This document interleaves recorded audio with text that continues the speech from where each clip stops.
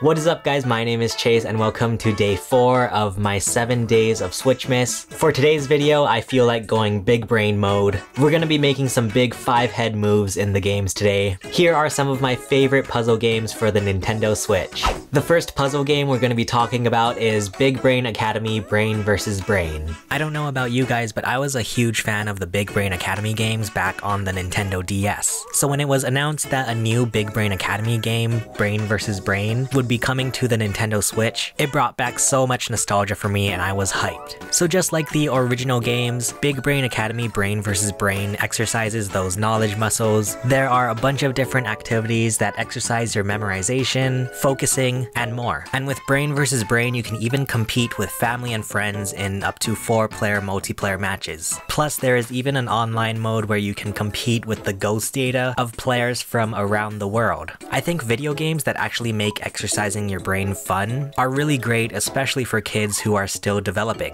And Big Brain Academy Brain vs. Brain does a really great job at that. The next puzzle game we're going to be looking at is a really fun multiplayer game. This is called Tricky Towers. If you're a fan of Tetris, you are going to love Tricky Towers. Tricky Towers focuses on the classic gameplay of stacking tetrominos, however it adds a huge twist when real-world physics are involved. This game supports up to 4 players locally or online, and there are many different game modes to discover, but all of them involve using unique puzzle skills when trying to perfectly plan out how you want your different tetrominos to stack on top of each other, while also keeping in mind that they can topple over. It's a really really interesting spin on the classic Tetris gameplay. And finally, our last puzzle game for the Nintendo Switch is perfect for the holiday season. Let's talk about Little Inferno. I think this is one of the most unique video games that we're going to be talking about for Switchmas. In Little Inferno, you are sat in front of a fireplace, and you simply just burn stuff. And just based off of that explanation, it might not sound like a lot of fun, but I can assure you that once you start getting into it, it is so much fun burning things. You unlock different catalogs where you can buy different items to burn in your little Inferno Entertainment fireplace, and along the way you have to unlock these combos, which is done by burning specific items at the same time. And because of that, this game does require you to really think outside of the box. It's really funny trying to figure out all of the different wordplay that is thrown into these combos. And in case you haven't played this game. I won't spoil anything, but I will say that there is a bit more to it than just burning things in a fireplace. You definitely just have to play it for yourself. And luckily, Tomorrow Corporation has just released the new Ho Ho Holiday DLC, 10 years after the original release of Little Inferno. Unfortunately, the DLC is not out for the Switch as of this recording, but once it is released for the Switch, it makes for a perfect holiday season game. And heck, even without the Christmas DLC, this game is just really cozy to play during the wintertime.